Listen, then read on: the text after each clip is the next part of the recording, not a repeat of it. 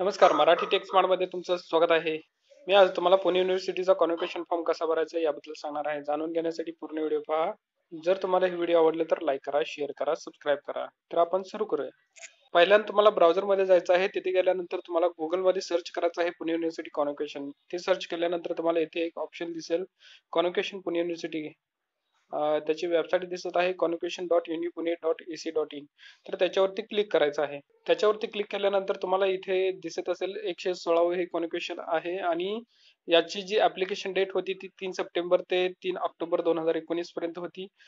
Late फीने हा form भरू शकता. पहिल्यांदा तुम्हाला रजिस्टर करायचं आहे त्यासाठी तुम्हाला क्रिएट न्यू अकाउंट याच्यावरती क्लिक करायचं आहे. त्याच्यावरती क्लिक केल्यानंतर तुम्हाला इथे ईमेल आयडी द्यायचा आहे. त्यानंतर पासवर्ड तयार करा. तोच पासवर्ड तुम्हाला इथे एंटर करायचा आहे. त्यानंतर तुमचा मोबाईल नंबर आहे तो इथे एंटर करा. आणि हा जो कॅपचा कोड दिसत असेल तो तुम्हाला इथे एंटर करायचा आहे. तो एंटर केल्यानंतर सबमिट वरती क्लिक करायचा आहे. सबमिट वरती क्लिक केल्यानंतर तुमचा लॉगिन आयडी तयार होईल.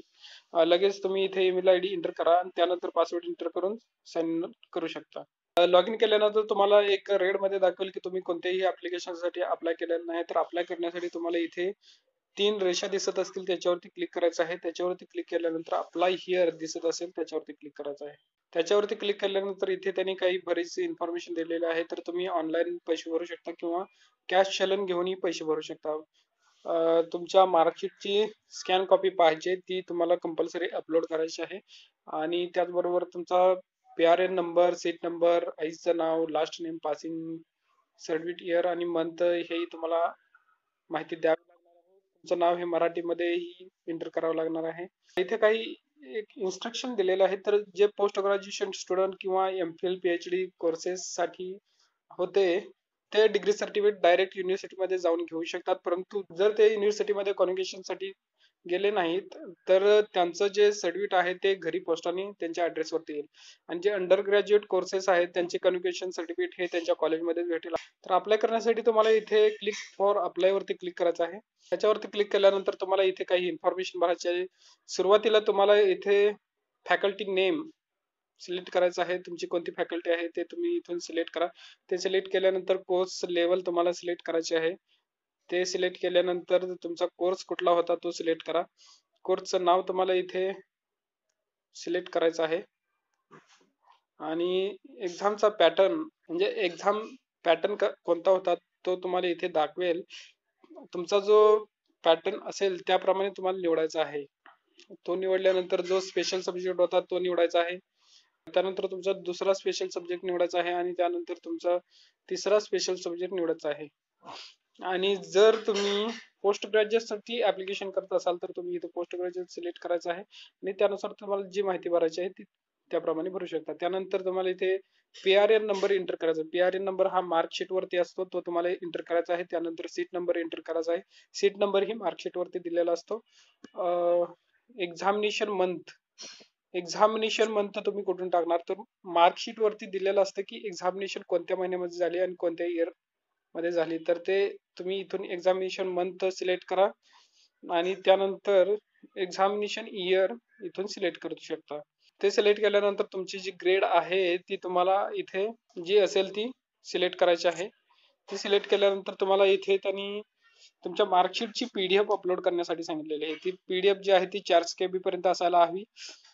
तुम्ही मोबाईलमध्ये फोटो काढू शकता आणि त्याची पीडीएफ बनवू शकता. त्यानंतर तुमचं जे कॉलेज आहे त्याचा P U N code enter करायचा आहे. तो जर तुम्हाला माहीत नसेल तर इथे एक लिंक दिलेला आहे. त्या लिंकवरती क्लिक करायचं आहे. तिथं लिंक वरती क्लिक केल्यानंतर तुमचं डिस्ट्रिक्ट सिलेक्ट करा.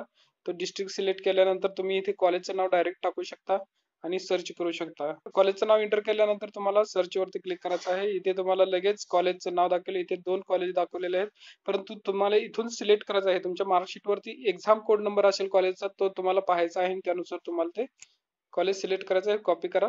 आणि पेस्ट करा. इथे एंटर केल्यानंतर लगेच कॉलेजची इन्फॉर्मेशन खाली दाखवेल. त्यानंतर तुमची जी बेसिक डिटेल्स आहेत ते तुम्हाला इथे एंटर करायचे आहेत. बेसिक डिटेल्समध्ये तुमचं जे नाव मार्कशीट वरती आहे तसं ऍज इट इज एंटर करायचं आहे. मार्कशीट वरती जे आईचं नाव आहे ते एंटर करा. त्यानंतर तुमचं जे नाव आहे ते मराठीमध्ये एंटर करायचं आहे. त्यानंतर आईचं नाव मराठीमध्ये एंटर करा. जेंडर सिलेक्ट करा. नॅशनॅलिटी सिलेक्ट करा. आणि ऍड्रेस फॉर कम्युनिकेशन हे खूप महत्वाचं आहे. तुम्हाला स्टेट सिलेक्ट करायचं आहे. स्टेट सिलेक्ट केल्यानंतर डिस्ट्रिक्ट सिलेक्ट करा तालुका सिलेक्ट करा. तुमच्या गावाचं नाव जे असेल ते एंटर करा. तुम्ही सिटीमध्ये राहत असाल तर सिटी किंवा कोणत्या विभागात राहतात ते तुम्ही इथे एंटर करा. त्यानंतर पिनकोड इथे एंटर करायचा आहे. पिनकोड माहीत नसेल तर गुगलमध्ये जाऊन सर्च करा. तिथे तुम्हाला पिनकोड भेटेल.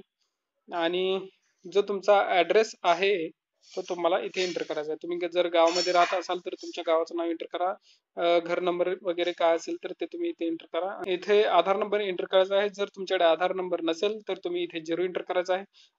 आणि त्यानंतर तुम्हाला इथे पेमेंट मोड सिलेक्ट करायचा आहे. पेमेंट हे तुम्ही कॅशने करू शकता किंवा ऑनलाईन करू शकता. कॅशने करायचं असेल तर कॅश सिलेक्ट करा. बँकेचं नाव सिलेक्ट करायचं आहे. तुम्ही दोन बँकेमध्ये पैसे भरू शकता. Bank of Maharashtra H D F C तर तुम्हाला जे कोणतं सोपं पडेल त्यानुसार तुम्ही बँक सिलेक्ट करा. त्यानंतर बँक सिलेक्ट केल्यानंतर एक चलन जनरेट होईल ते तुम्हाला बँकेमध्ये जाऊन भरायचं आहे. परंतु जर तुम्ही ऑनलाईन पेमेंट मोड सिलेक्ट केले तर तुम्ही डायरेक्ट ऑनलाईन पैसे भरू शकता.